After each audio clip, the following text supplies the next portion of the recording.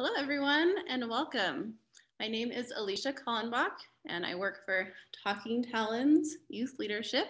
And we are very excited to be here today to share this information with you. So I'm going to go ahead and share my screen at this point because I have prepared a lovely PowerPoint. So I'm going to go ahead and hit share. Okay. So we're going to be talking about let's get outdoors today. So outdoors is the theme. And this is all funded by Bernalillo County Open Space. And as I mentioned earlier, um, I work for Talking Talons Youth Leadership. I am an environmental educator and grant writer here. Um, we are a nonprofit organization located up in Cedar Crest, which is up in the East Mountains. And we are most well known for bringing animals into classrooms, um, into like APS classrooms with kids and then taking kids on field trips to explore in the forest. And we've even done summer camps and just with the general theme of um, getting everyone excited about wildlife and conservation and protecting our beautiful planet. So let's go ahead. I'm going to, let's see, to the next slide here. So as I just mentioned, so why we are here is we are getting outdoors and in nature. So the presentation today is gonna be broken up into two different parts. So we're gonna be learning about how to prepare for a family hike and also learning about the different open space trails that are available. And then after the, the, the halfway point of our presentation, I will introduce you to our live non-releasable wildlife snake friends. And I would like to make a note um, just because we do live in New Mexico where we have lots of different cultures and peoples. We always want to be very sensitive to everyone's different cultures. Um, so some cultures are sensitive to certain species of animals like snakes and owls. And so if that is you, um, this is just a little heads up. And I, I, will state this again right before I take out the live animals that um, we will be seeing two live non-venomous snakes today. So um, this kind of gave the surprise away a little bit, but just to, to let people know that's what will be happening. And I know some people are a little, get a little bit scared, you know, around snakes. That's a common thing, but we're hoping that, that we can um, help um, you maybe hopefully fall in love with them and be a little less scared of these guys. They really are really amazing creatures. And lastly, again, um, it is a big thank you to Bernalillo County Open Space for allowing us to be here today. They are our funders for this grant and we are so excited to be here. All right, so let's get started. So let's talk about what we should wear when we go outdoors. So specifically thinking about if we're gonna go out hiking on a trail. So first thing to do is wear comfortable clothes. So I would think of things like workout clothes, things you can move in that are um, breathable and just, just generally comfortable, not restraining in any way. And then also dressing in layers is a very good idea. You never know what the weather is gonna be. You know, you could walk out one morning and it's, you know, um, sunshine or it's raining and then it might be the opposite in the afternoon, especially here in New Mexico. So wearing um, either a light or medium jacket or sweaters is a really good idea so you can put on or take off layers as needed. And wearing pants is a really good idea. So th this way you can protect your legs when you're, you're hiking and there might be some you know, thorns or branches in your path and it's just a good idea. I know it can be hot sometimes, but definitely we always wanna um, protect ourselves, right? And definitely you wanna wear good shoes. So no flip flops, no fancy shoes. Um, so a good rule of thumb is wearing closed-toed shoes. So this is things like sneakers, tennis shoes, and especially hiking boots like this picture right down here in the, the bottom center would be a really good option. And then a hat and sunglasses as well, definitely to protect yourself from the sun and a face mask, just because we do have to keep our, our COVID safety in mind as well. All right, so moving on. So now we know what we're gonna be wearing as we're going outside. So what should we bring with us if we're going on a family hike? Well, first of all, we have to have something to put everything in. So definitely bringing a backpack. So you're gonna pack a backpack. Uh, most importantly, water bottle. you definitely want to have water when you're hiking. You're going to get thirsty. You're going to be sweating and be getting dehydrated. So even multiple water bottles, depending on how long you're planning on being out. And bringing snacks and a lunch is also a great idea. Um, some healthy snacks like fruit or nuts, um, you know, like granola bars are really great options. And then if you're going to be out for the majority of the day, even packing yourself a lunch um, in a lunchbox with a with an ice um, cooler in there would be really good idea. And also bringing your phone and camera. So a phone, just in case an emergency does happen, it's, it's really good to be able to call someone in case of emergency. And then also you can have a camera on your phone. If you do, then you can take pictures. If not, then you can um, just bring a camera along with you as well to capture your, your memorable hike. Also bringing a rain poncho is a good idea. So this is what um, they look like down here in this bottom middle photo. And also bringing a map. So this could even include taking a picture of the sign, but right before you, um, at the trailhead or before you walk out and start your hike. So just knowing where you're going, how long you're gonna be hiking for, how many miles it is, just in case you do happen to get lost, um, knowing where you are and seeing how to get back is really, really good idea. Having binoculars on you is also a really um, awesome thing to do if you would like to look at the birds or wildlife and all sorts of different um, things around you. So binoculars are a really awesome thing to pack as well. Having a compass and whistle are also more on that safety side of things. So a compass, so you can know where you're going, or if you happen to get, um, you know, off the trail by chance, then you can can figure out how to get back. And then a whistle, just in case there is an emergency situation, you can call for help. And lastly, a flashlight. You might not be planning on staying um, past, you know, in the sunset, but if something does happen unexpected, it is always a good idea. Or if you do plan on staying out past dark, um, having a flashlight is a really great idea. So you can see where you're going. All right, so these are more protection items. So you want to always protect yourself and others. So safety first, right? So a first aid kit in the case that something does happen, you fall down, you know, you scratch your knee, you want to at least have some some antiseptic and some band-aids to put on that and everything else that comes in our, our standard first aid kits. Also having hand sanitizer is a great idea if you're going to be eating snacks or eating lunch. And again, just um, COVID rules as well. All that ties into um, having hand sanitizer handy. It's a great idea. And then sunscreen. So we definitely always want to protect our skin in New Mexico. We are one of the top states for, for high rates of skin cancer. So sunscreen is really important along with your hat and sunglasses that we mentioned earlier.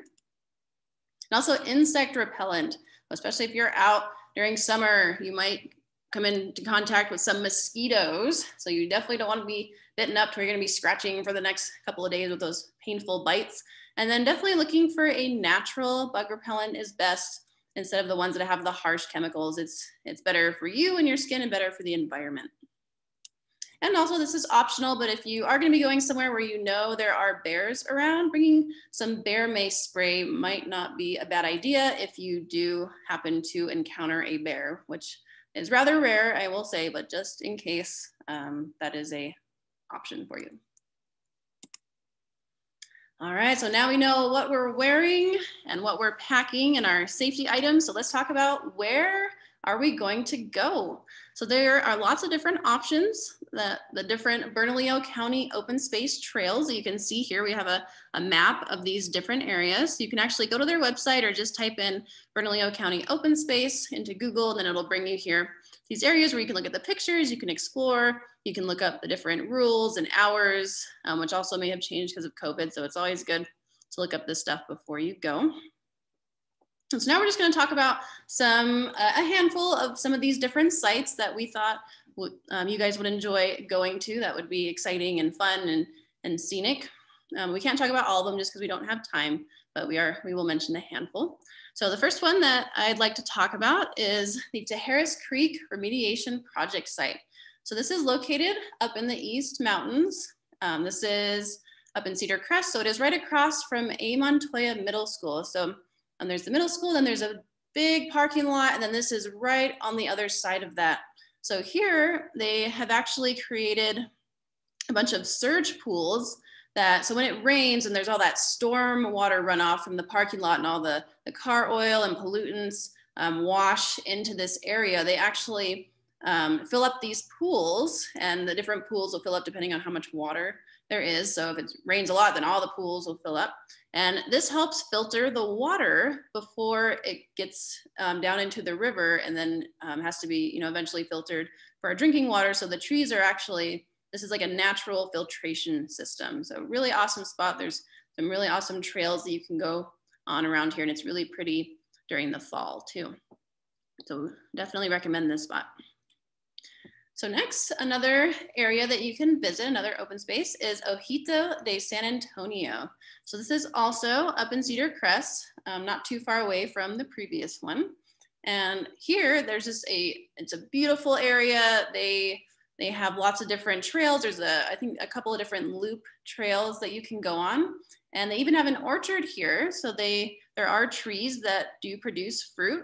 So you can um, if you do see a tree that does have ripe fruit on it, I would say that you can pick one to have for yourself. So maybe a rule of thumb is keep just pick one for each person. So you definitely don't want to take all the fruit off and, and hoard it. You want to leave it so that everybody can enjoy. You know, someone else comes along and maybe they forgot a snack. Well, they can have a, a little peach off the tree. Um, I forget exactly which it might be, um, apricots, but what have you. But yeah, so, and also the wildlife eat the fruit on the trees as well. So we definitely want to keep some for them. So it is their home too. So we want to respect and leave some food for them. And there's also bears. This is one of those sites that bears do come out when it's during bear season. I believe they do actually close this site for a couple of months during the, the height of when the bears are really active. And this is when the bears are actually gonna be out and they are gonna be enjoying some of the fruit off the trees as well. So it's a really awesome site. Lots of different cool plants and animals to see and lots of different cacti. So also um, highly recommend this one. So next is Carlito Springs. So also up in the East Mountains. I have personally not been to this site, but I have heard many, many good things about it. My coworkers both rant and rave about how amazing it is. And I already can see from this picture, it already makes me want to go and check it out. And the only thing is it has been under renovation for the past couple of years and it is scheduled to hopefully reopen within the next year or so. But this is a really awesome spot. They have a stream, they have some different little pools that you can see, and also some really awesome trails that you can check out. And I believe they also have an orchard here as well, and lots of history. Um, so another really beautiful spot to, to visit. All right, so the next one you can choose to go to is Bachechi Open Space. So this one, I believe, I'm gonna try and remember. I think it's on, is it L, er, on Rio Grande? I believe that's where this one is. And um, really amazing space. I have been to this one before. Uh, before COVID, they would hold a lot of events here. They have this um, education center down here that um, it used to be weekly. They would hold family events here and you can actually reserve the space and really awesome trails. They, they're really close to a really big uh, bike trail that you can go on. Um, but I would definitely check to see, hopefully um, with COVID, they, they will maybe slowly be getting back to hosting events here. But again, that's something you want to, to check out the website and research and have the most up-to-date information. All right, so next we have the Gutierrez Hubbell House that you can visit. So this is down on Isleta, on, um, I believe it's in the South Valley.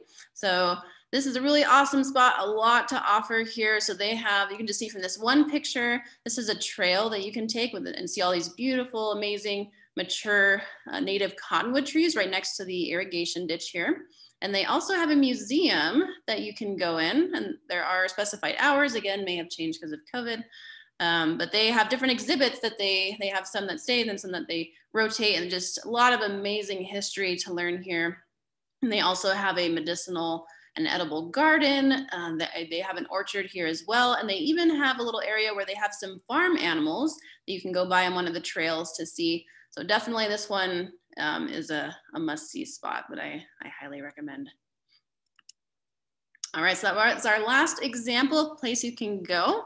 So now we're gonna switch over to talking about trail etiquettes. This is when you're actually out on the trail. So we're gonna talk about um, the outdoor manners, kind of how you're expected to behave. All right. So first, first things first, you know, safety. We always want to keep this in mind and keep our COVID safe guidelines in mind. So I know you guys have probably have heard a lot of these before, but we do have to mention them again just so we want to abide um, by the rules and the laws of our state, right? So if you're feeling sick, please stay home just so you don't um, get anyone else sick. And if you're feeling COVID symptoms, getting tested.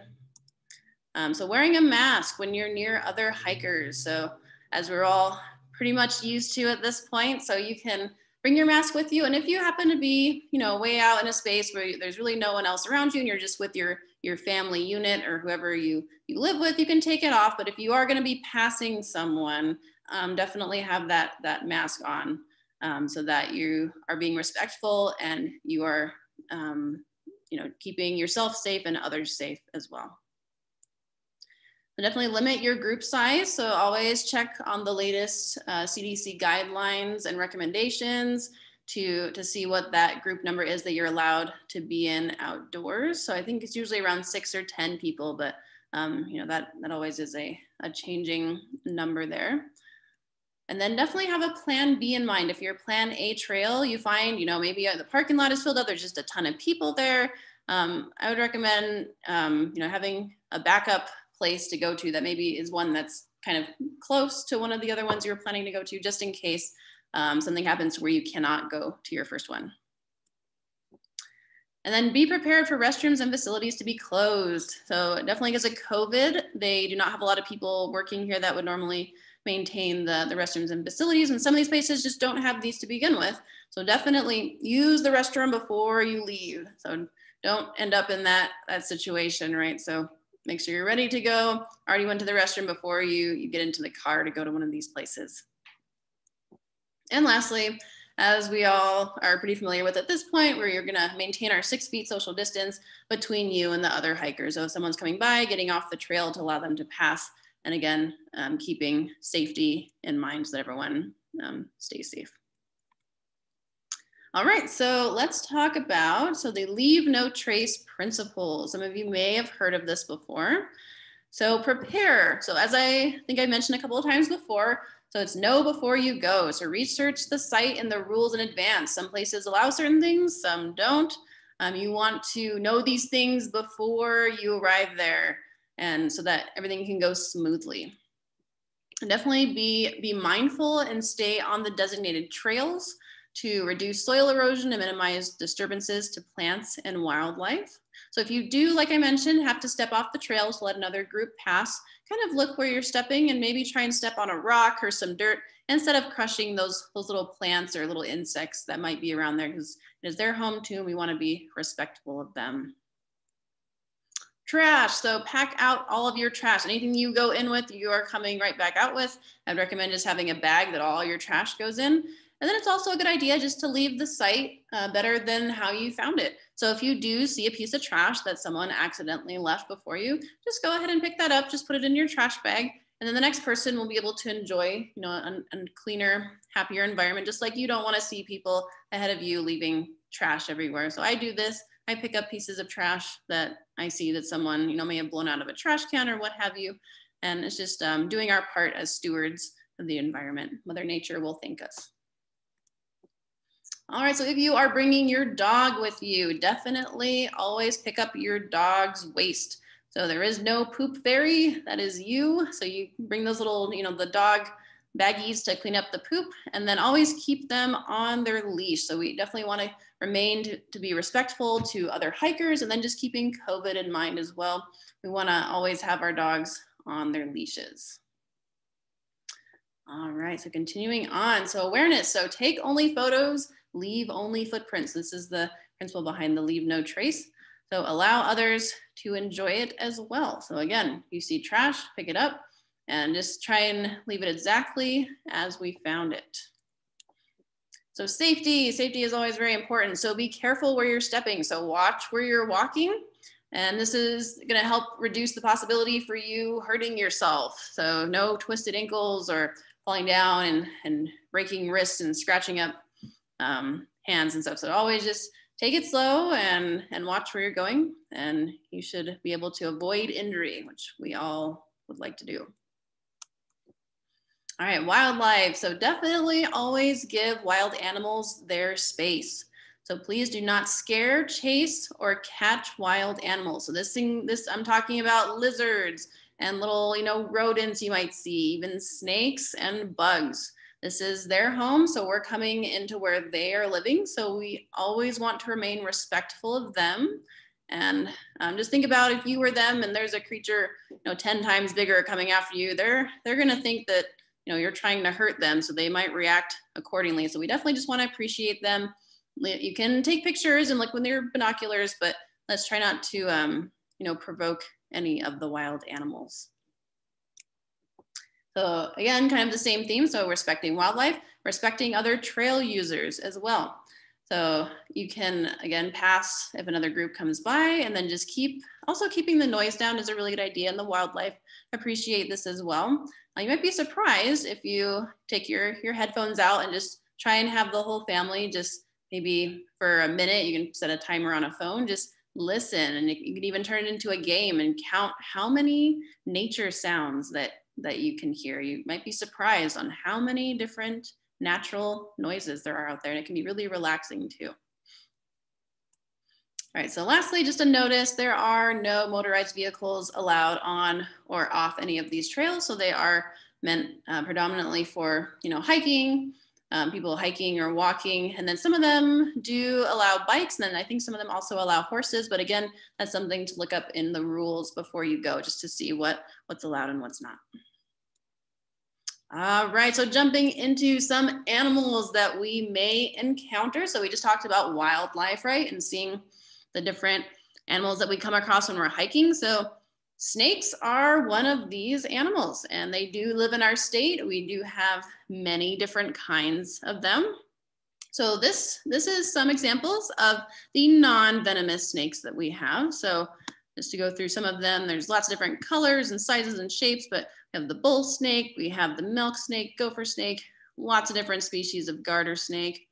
We have our western coach whip, we have hog noses, we have desert king snakes and even corn snakes and water snakes in our state. So you may be coming across some of these guys as you are hiking. So we do have some tips, so some prevention tips for living near in and around snakes. So um, definitely, as we mentioned before with the, the other wildlife, definitely do not try and tease, catch, or handle any snake in the wild. They're most likely going to react by trying to to bite you in defense because they think that you know your hand coming down kind of looks like a big eagle claw so they think they're being turned into prey. So usually snakes are not going to want to bother humans unless they feel threatened. So again if you're coming up to them you're trying to to handle them or, or um, startle them then they're going to react. So do not put your hands or feet in between rock crevices or animal holes. This is a great way to get bit and we want to avoid doing that. So definitely um, no hands into places that you can't see what's inside. Um, just be mindful of where you're stepping. Again, there might be a snake on the actual trail. So just, just being mindful and being aware of what's around you is a really good way um, to be safe. If you do happen to see a venomous snake, the first thing to do is be still and quiet. So you're gonna wanna um, if you hear it before you see it, definitely freeze and locate where it's coming from. Now, if you've located it, it you would like, the best thing to do is to walk backwards away from it slowly um, until you're in safe distance to turn around and then either walk away or find an alternate route around the snakes. You just want to calmly, you know, give them their space and then go around them is the best um, method of uh, to take in this case. All right, so these here are the venomous snakes that we have in New Mexico. So there are lots of different species. We have many, many different types of rattlesnakes. So you can see all of these guys. And then we also have the coral snake as well. So as you can see, these guys are actually, they're not all really brightly colored with the exception of the coral snake. So they're actually pretty good at blending in. They have some pretty good camouflage on these guys. So again, this is why it's so important to watch where you're stepping and you're walking just so you can avoid being bitten by a snake. But if it does happen, which it does to a certain number of people every year, um, we're just gonna quickly go over what some first aid steps to take would be. So if you do, this is specifically if you get bit by a venomous snake, which becomes a medical emergency. So number one thing to do is try as best as you can to remain calm. And you wanna put, again, a safe distance between you and the snake. And then just one note is just, it would definitely be a stressful situation, but maybe someone else that you're with could try and memorize what the snake looks like because they are gonna need this information when you're taken to the hospital to get you the correct anti-venom. This becomes important later. So definitely have just a brief description to be able to tell the, the people in the ambulance.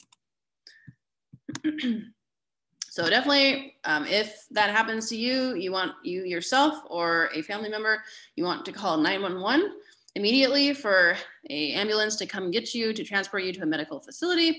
And as I mentioned, antivenom is the only effective treatment in this case for a venomous snake bite. so while you're waiting for the ambulance to come get you, in the meantime, you can call the New Mexico Poison Control Center. This is the number listed here, and they will walk you through exactly what you need to do in the meantime. So you also want to remove any jewelry or other restrictive items around the, the bite. And then over here is the hotline again for the Poison Center. Um, and this is again why it's important to carry your cell phone on you if you were to have an emergency. Here's their website as well, so the UNM uh, Poison Center. And lastly, what not to do. So there's a lot of movies out there, a lot of false information, a lot of myths and stuff that we can come across. So definitely not applying a tight tourniquet. So, you know, see in the movies, they take their belt off and they, they try and, you know, cut the circulation off. So just do not do that. Do not apply ice either. So these things can actually not only not help, they might even hurt and cause more tissue damage. And again, another one that I forgot to put on here was do not try and suck the venom out of the wound. I know that's a popular thing in movies. As we all should know by now, the things that we see in movies are not always real. So that, that can uh, be very harmful to the person that tries to suck the venom out themselves if they have any micro cuts in their mouth things you sometimes you aren't even aware that you have a small injury in your mouth if that gets into their bloodstream then they are in a medical emergency as well as well as the person that already got bit so then you have two people in the situation so it is not a good idea call the poison control center they will tell you what to do call 911 911 first then the control center and they will get you over to the hospital so that you can be saved if this happens to you. Hopefully this does not happen to any of you, but uh, good information to know if, if that does. All right, so this concludes my PowerPoint that I have. So it looks like, okay, awesome. So it automatically stopped sharing the screen. So at this point, I am gonna go ahead and introduce you guys to my snake friends that I mentioned earlier. And this is the, the moment where anyone who has any cultural sensitivities to snakes or you just don't feel comfortable, we're not forcing anyone to do anything they're not comfortable with. If you would rather not see a live snake today, that's okay too. Um, so thank you for, for coming this far um, through the presentation. But um, at this point, I will um, take, um, it'll take me just a second to get out my first friend. Um, just before I do take them out though, so they are both non-venomous constrictors. So here at Talking Talons, we would not have venomous snakes. We would not be handling venomous snakes. And yeah, so I have, I have two of them to show you. So I'm gonna go ahead and grab my first friend. So give me just one second and I will be right back.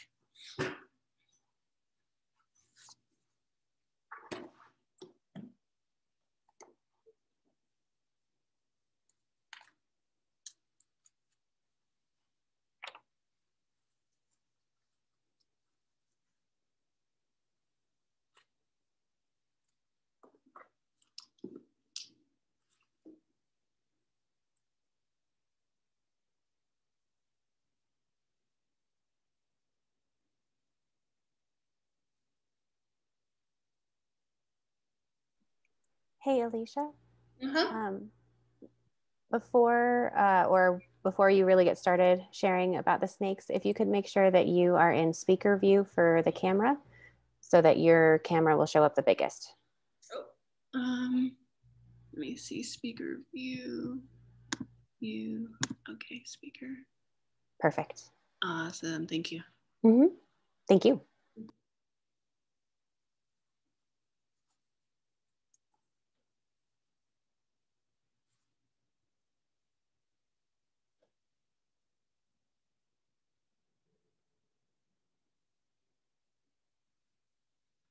All right, everybody. Let's have you say hello to Soy, our milk snake. So you guys did see a picture of, not her specifically, but her species on the slide, on the non-venomous um, slide there previously. And I just wanna make sure, open, I, of course I can't use the, um, the computer with my gloves on. Um, so Soy here is a, as I mentioned, a Pueblan milk snake. And she is actually a native species to uh, New Mexico. So you, um, as we mentioned, we can come across her as you are out and about and hiking. And she is about eight years old now. And milk snakes can live up to 20 years old. So she still has quite a bit of life to live. And she, let's see if I can stretch her out for you so you can see just how long she is. Snakes do like to be curled up um, because they feel safer that way. It's their, you know, they don't have hands or feet. So the best they can do is curl around things. And so she, so they can actually get up to four feet long. So as you saw, she's maybe about three or so. So she still has some growing to do. And you can see that she is flicking her tongue out. So I'm gonna try and bring her up as close as I can to the, the camera there. And so snakes actually sense the air by using their tongues. They're smelling the air. Um, so their, their tongues work differently than humans. So you can think about their tongue as kind of like one of those lint rollers that um, you know you use for your animal hair. They they will pick up the, the chemicals and molecules in the air around them, and then it goes up into a slot in the roof of their mouth called the Jacobson's organ. And their brain is actually gonna read what they're smelling. So it's pretty cool. Um, so milk snakes are nocturnal. Nocturnal means that they are active at night. So she usually sleeps during the day and is active at night, so opposite of humans. And she, they, they called them, we'll go into the myth about um, how milk snakes got their, their name. So there's an old wives' tale of, um, you know, people would find these snakes in a lot of times in barns, and they're thinking, oh, you know, the snakes are are drinking the cow's milk. Well, that's actually not the case. Some of you may know that the snakes um, they do not do this. They don't um, get up there and, and drink cow's milk. They actually are um, carnivores. So they are going to be eating all the rodents and different animals that are living in the barn there. So, you know, of course, mice and rats, you're going to find lots of those inside of a barn. That's what these snakes are in there eating. And milk snakes specifically are what's known as king snakes. So they actually will even eat other snakes. So they are not picky. Um, they will go again, you know, a lot of snakes will like to, to eat rodents like mice and rats and, and lizards even, but these, these milk snakes will even go after other snakes. They'll eat bird eggs. They'll even eat frogs. Um, you know, anything, I think they even can climb up and they, they might get a bat if they're able to do that.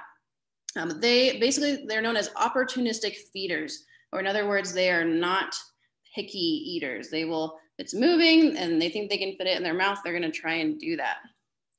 And so another cool thing about snakes is they actually, so she can eat something that's as big around as the thickest part of her body. And, then you look at her head and you're like, wait a second, her head is way smaller. How is that even possible? And how do they even catch their prey to begin with? If it's a mouse scurrying around, they don't have arms or legs. So this is um, why the name constrictor comes into play. So they actually will, will sneak up on the animal and then they will strike and they'll wrap around it really, really quickly. And then they'll squeeze really hard, squeeze all the breath out. And then they will open their mouths and they actually can unhinge their jaws. So they will open and expand, their mouths open, their jaws will actually come detached from the bottom part um, of their mouth. And they can fit a really big mouse in a seemingly small head and jaw area. So really, really cool. They can eat things much larger um, than you may think. And so Soy here is actually a mimic. So if you guys remember from the slide earlier, um, she is mimicking a snake that actually is venomous called the coral snake. So let me go ahead. I need to grab my, my little picture here for you guys. So we have, we look here, so we have Soy, the milk snake on this side over here. I don't know if it's right or left on your guys' screen. So this side right here is our milk snake. And then this is the venomous coral snake on this side over here. So you can see that they are both uh, red, black, and yellow snakes, but the difference is in the pattern of their bands. So we have a fancy little rhyme to go along with, um, if you do happen to come across one of these snakes in the wild and you don't know right away which one it is, you can remember that if red touches yellow, you're a dead fellow. If red touches black, you're okay, Jack. So that means if the red band's touching the yellow band, like on the coral snake, you're a dead fellow, and that means that's venomous. You get bit, that's a trip to the hospital. Um, but then the milk snake, if red touches black, you're okay, Jack. Then you, you're it's still not fun to be bitten, but um, at least it's not going to be a, a medical emergency in that case, right?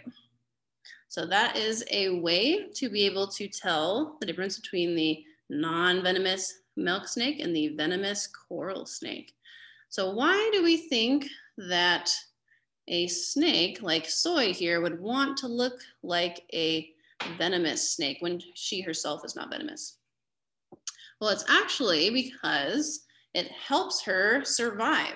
So this is a um, something they've evolved to do to be able to not be eaten by predators. So if a predator comes up and they see her and you know they might not think of the rhyme either, they just see a snake with these general colors, they're gonna say, oh, that's the venomous one, I'm gonna stay away. And uh, predators of these snakes are uh, commonly going to be like birds of prey are going to be going after them. So like big raptors, like hawks and falcons and owls and things like that.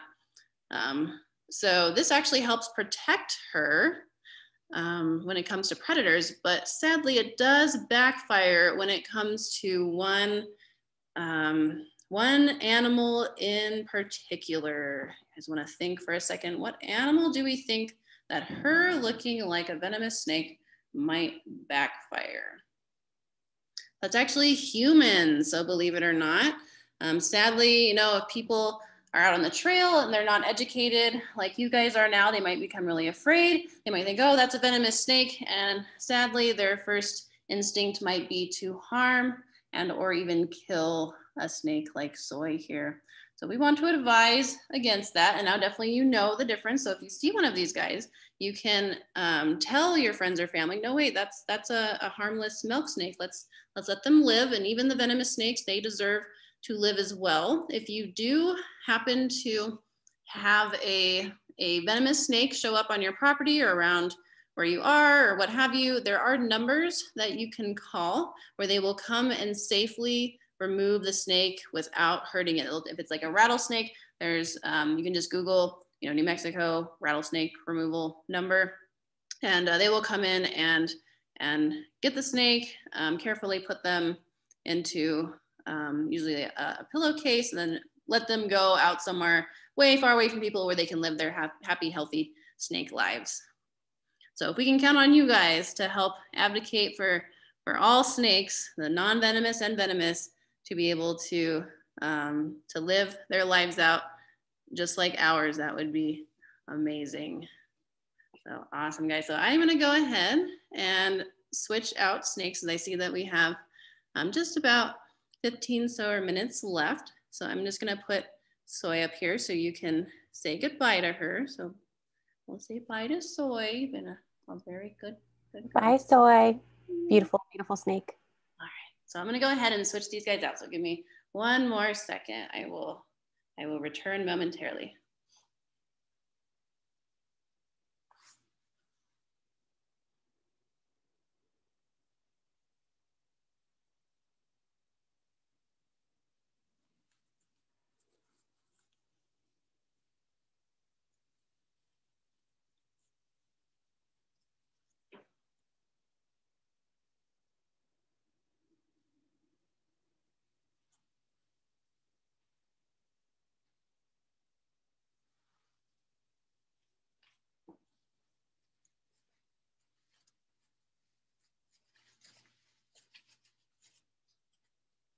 Okay, so I guess in the meantime, if you guys can still hear me, so I'm just gonna show you. So I was mentioning pillowcases earlier. So this is how we transport our snakes as well. So they're inside these pillowcases and they're inside boxes that they can, that have holes in them so they can breathe. And this is for their own safety. They can breathe just fine inside the pillowcases.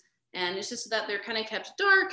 Um, you know, animals can get stressed out if they see everything that's going by and then they, snakes are really great escape artists. So this allows them to not, you know, be able to escape and then be in the car when we're transporting them and things like that.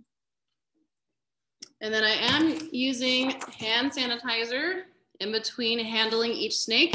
Again, just a good idea with the pandemic going on, but also snakes do carry a bacteria called salmonella.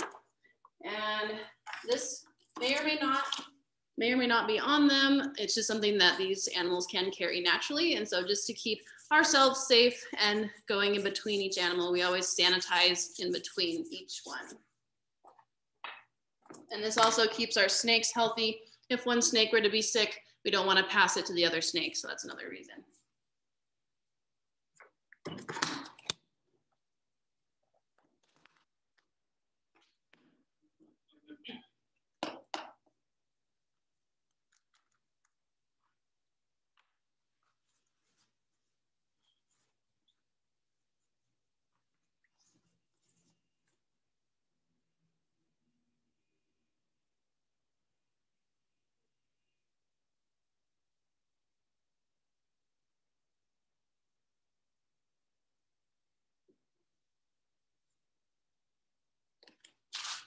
All right, everyone, say hello to our exotic species. This is Rainy.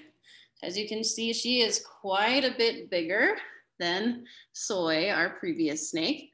And Rainy is actually not from around here. So that's why we, we call her so, so native means, um, my hair is in my face.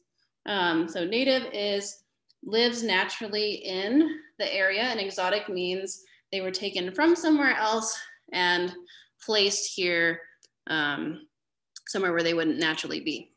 So Rainy is a Brazilian rainbow boa. So where do we think she's from if she's a Brazilian rainbow boa? If you guys said Brazil, you would be correct. She is, her species of snake is originally from the rainforest of Brazil. That's where you would find her. So she would normally be crawling up on a tree. So um, she is actually what we call a tree snake or arboreal snake, as opposed to Soy. Previously, she was a terrestrial snake or um, ground snake is where you're gonna find her most of the time. And Rainy is actually, um, so, so wait, she's also nocturnal and she is about seven years old. So she's actually one year younger than Soy, but much bigger. So it all depends on species, right? And she, so I'm gonna try and stretch her out for you. So she's a lot stronger than Soy. So I'm gonna see if she's gonna, let's see if I can get her. So if I can get her in the whole picture here. So there she is, mostly stretched out. So I'm seeing like three and a half, maybe even four feet. Um, these snakes can get up to six feet in length. So that is really, really long and big that she can eventually grow to. And the really cool thing, oh, and then she also can live for 25 years or so. 20 to 25 years is the common um, lifespan for Brazilian rainbow boas in captivity. And that, that um, lifespan is lowered whenever they're in the wild. And that is just because of things like, you know, there's actually going to be predators where when they're in um, captivity, they're getting fed and watered and they're getting their, their correct amount of sunlight and they're being treated if they get sick. But in the wild, there's not any of that medical care that they get. So um, they can fall ill and, and then not make it and not live as long. And so a really awesome thing about Rainy and why they call them rainbow boas is that her scales actually have little microscopic ridges on them that reflect the sunlight in such a way, kind of like a spectrum, um, where they actually will look like little rainbows. And I have a picture because we're not in sunlight right now, but this is what it would look like if she were in sunlight. I'll hold that up there. So that is what her scales will do. The, the light will bounce off of them and she will become this very beautiful um, iridescent snake. And even her eye scales will even reflect the, the, the sunlight. So she, so speaking of scales, so snakes will shed their skin. As some of you may have heard. So their skin is different from ours and how it grows. So they, um, when they get big, so when they when they're eating food, you know they're going to be growing, and kind of like you can think about it as clothes. You know, you outgrow some clothes that you don't fit in anymore as you got bigger as you get older. Well, same thing with snakes. When their skin, you know, it gets really really tight when it's too small for them to fit in anymore, just because they've been eating and growing. Um, they the top layer will actually um, become really dry, and then eventually it will be time for it to come off and the snakes will know to start rubbing their heads along different things in their environment, like rocks and, and branches, and they will work off that shed so that it can reveal the, the, the under the brand new scales that have been growing underneath. And so Rainy here is what's known as viviparous. Viviparous, that is a fancy word for she gives live birth to her young. So a lot of Snakes, including our, our previous one, Soy, are oviparous, which means they lay eggs. But uh, Rainy here will actually give birth to live little wiggling baby snakes. And when they are born, they're actually the size and shape of a pen or pencil, about this big. So she definitely has grown a lot since she has been a baby. And snakes are also what we call ectothermic. So ectothermic means that they are cold blooded, which means they have to absorb the heat from the environment around them. They're not capable of producing their own heat. Um, unlike humans, humans are what we call endothermic, where we can make our own heat. And so she does enjoy being wrapped around my nice warm arm. And when snakes get more, as they become more warm, they'll become more active because that means they have more energy. And I also do have another picture here. So going back to how snakes sense their world, um, they see, so they don't have the same eyesight as us. So they're, they're relying on that, that tongue to smell. Um, and then I did, I did forget to mention, so their tongue is forked so that they can tell which direction a smell is coming from. So if one of those, uh, you know, a smell of a mouse hits the right side of their tongue, they're gonna head off to the right if they're hungry and they wanna find a meal um, but their eyesight is a little bit different. They see in thermal um, vision, so they, they only see heat blobs. So this is what a mouse looks like to a snake. That's pretty cool. So the, the warmer um, the, the temperature, the more reddish orangish it is, and then the cooler, the more greenish or bluish. So, you know, the core of an animal's body is going to be the warmest, like the brain and things like that. So this is how they would be seeing their worlds. I'm just a big heat blob to Rainy, which is pretty cool. So let's talk about a little, um, so I guess I didn't describe to you guys how these snakes came to be in Talking Talon's care. So they are both what we call non-releasable wildlife animals. So they cannot be released back into the wild, especially Rainy. This isn't her natural habitat. She would not be doing okay here in New Mexico. She needs humidity very specific temperature.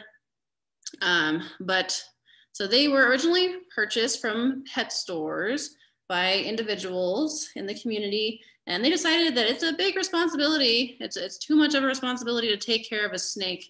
And they donated them to Talking Talons. So it is a big responsibility to take care of snakes. They require very specific care depending on which species. Um, they need to be at a certain temperature when they're fed. Their cage needs to have certain heat lamps because they need to get certain um, you know, UV rays.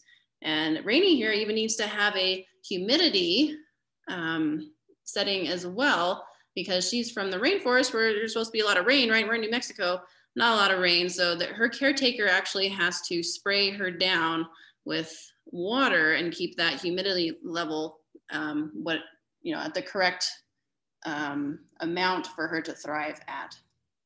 So back in the, so how these guys actually entered into the pet trade, specifically the, the Brazilian rainbow boas back in the 1980s. Um, so none of these snakes were, were pets back in the 80s. And then many of them were, were taken from the rainforest, from the wild, and then sold into the pet trade. A lot of these guys did not make it unfortunately, because it is very stressful for an animal, a perfectly healthy animal, to be taken from the wild and then put into a, a cage if they don't have to be there. So a lot of them didn't make it. Again, the transport process, the stress, probably temperature differences. So a lot of them died, which is really sad.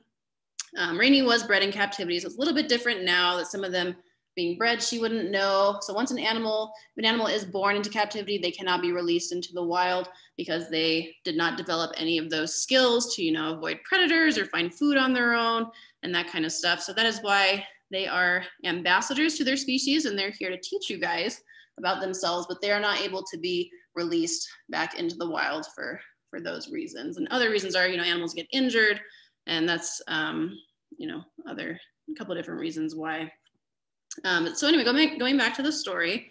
So um, these guys were taken from the rainforest and they, so we were thinking about, you know, over there on what's going on in the rainforest. So there has been a lot of, you know, fires in the past couple of years. I don't know if you guys have heard on the news, you know, the, the rainforest has had these massive fires have been taking out a lot of the, the trees there. Well, the trees are really important for us to have. They're actually the, the lungs of our planet. They help purify our air. You know, they give off oxygen, which humans and animals breathe. So very important to, to have those trees there. And that's habitat for snakes like Rainy.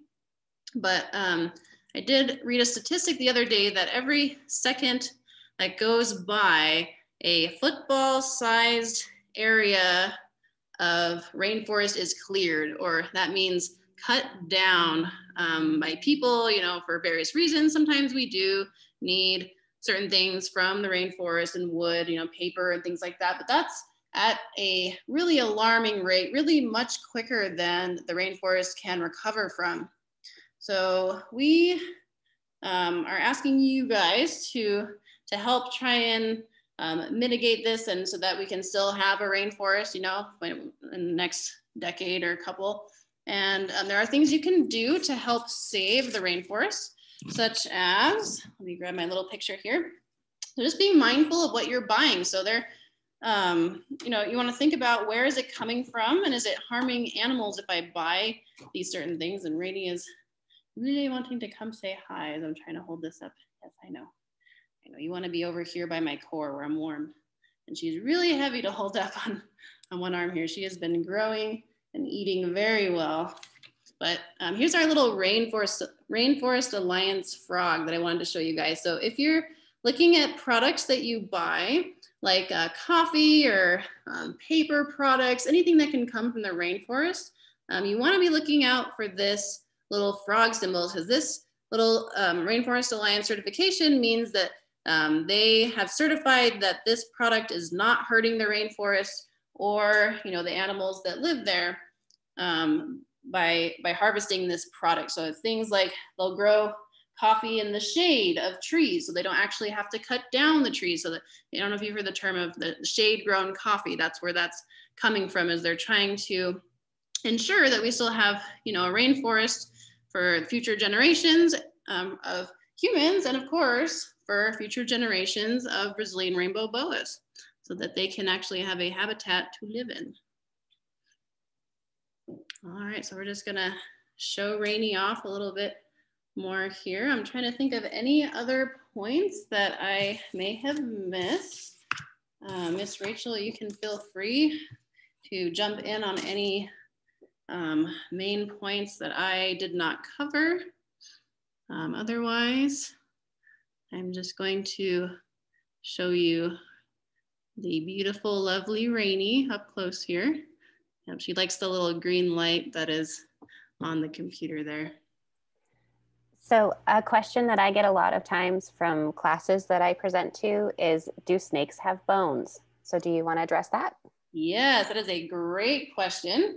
So snakes do have bones. They, you can think about them as just a giant um, body with a ton of ribs. So they have a backbone just like us. So if you put your, I can't do it right now as I have I need both hands for Rainy, but if you put your hands behind on your neck and you feel those little bumps, that's your backbone.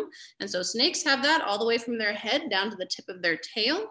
And I'm trying to remember the number. I believe it is about 400 ribs, if I am correct. It has been a little while, but I believe it is around 400 ribs total that they have that goes throughout their entire body. And snakes have all the same organs as we do as well. So they have a brain, they have a stomach, they have lungs, um, they have you know a bladder, um, and it's just all you know elongated. It's all kind of stretched out to to fit into their their snake bodies.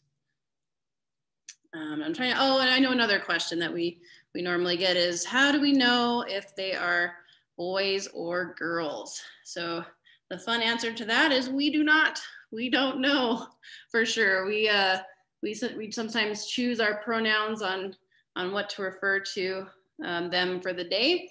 But there is a procedure, a, a process that a veterinarian can do, but it's very invasive. It's very uncomfortable and stressful for the snake. They have to pry open scales and um, really not fun stuff.